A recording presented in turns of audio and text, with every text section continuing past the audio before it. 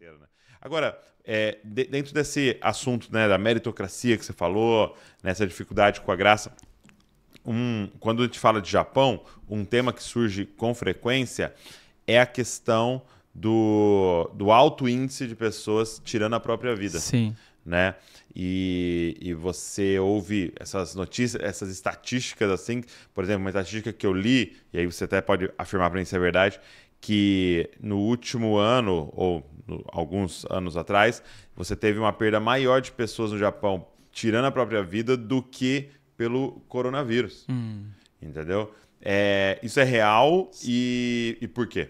Sim, é real e tem muito a ver com a criação do, do, dos japoneses, como essa criação. Por exemplo, tem muitas coisas que o, o, o brasileiro que está de longe, ele vê e admira, e é admirável algumas coisas, mas também tem o, o, o lado ruim da questão. Por exemplo, né, a criança no Japão, né? A criança já desde muito pequena, ela é ensinada que, tipo assim, ela tem que... Ela, se ela cair, os pais continuam andando, ela tem que levantar sozinha, entendeu? É a vida, né? É a vida, tem que levantar sozinha. Só que isso eu tô falando de uma criança de um ano e pouquinho, dois é anos. Mesmo? É, com seis anos você vai para a escola sozinho e a bolsa, você não, você não imagina o peso da bolsa. Então ele tem que levar para a escola sozinho, uhum. entendeu? E tem que ir, é debaixo de chuva, cara, dá, dá, dá uma dó, assim, é debaixo de chuva e às vezes andando quilômetros, entendeu? Entendi. Então, assim, são coisas, daí um exemplo, é legal, é muito interessante Você, você serve a comida que você vai comer e depois você faz a limpeza da escola. É muito positivo. Só que isso também cria uma rigidez tão grande que você sempre você tem, você tem que fazer. É, é, um, é, um, é uma sociedade onde você tem valor se você faz. Hum.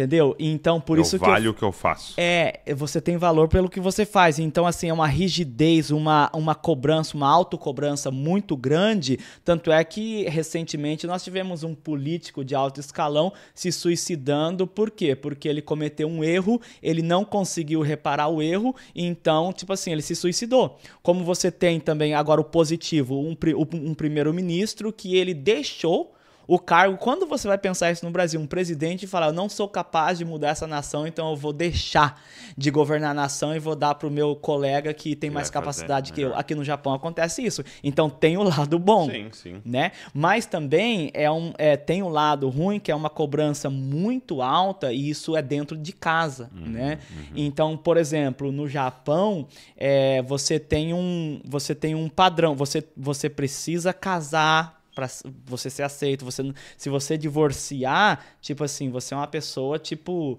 tipo um leproso. Na cultura japonesa. Na cultura japonesa. É mesmo. Não dentro da igreja japonesa, Sim. né? Então, assim, é, são coisas, por exemplo, eu sofri muito bullying dentro da escola, porque eu tinha amigos e eu tinha, eu tinha amigos e amigas japonesas que a gente brincava.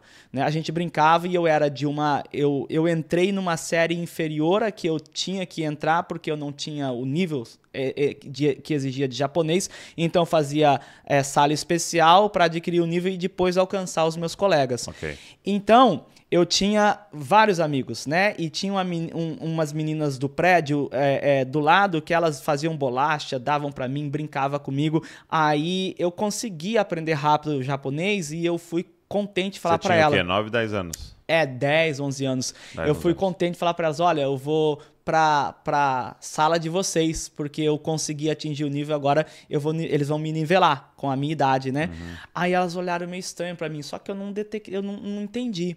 Aí quando eu mudei e eu fui para, fiquei na sala delas, elas deixaram de falar comigo elas deixaram de falar comigo, fazia o que eu era um desconhecido, assim, sabe? Um desconhecido como assim, me como se ignorava. não. É, ignorava. E depois eu fui perguntar por que. Ela falou: não, é que nós temos vergonha, nós não podemos falar com você.